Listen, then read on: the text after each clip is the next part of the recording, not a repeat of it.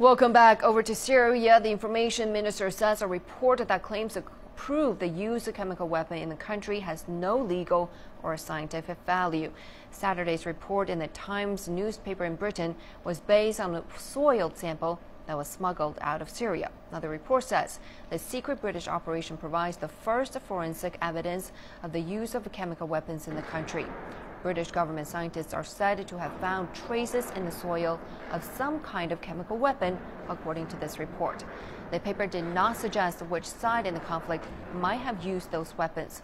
Last month, Damascus uh, accused the rebels in northern Syria of firing a chemical rocket in Aleppo, and it urged the United Nations to send a technical team to investigate, but later refused when the UN asked to expand the probe.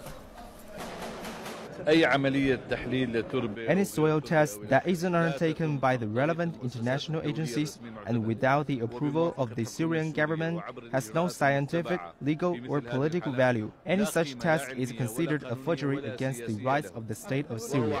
Where did the rocket that was used in the Khan al-Assal come from? Where did they get the chemical weapons from? They should ask Turkey, Britain, France, and others about the source of this chemical weapon. And that's why they're trying to cover up this issue.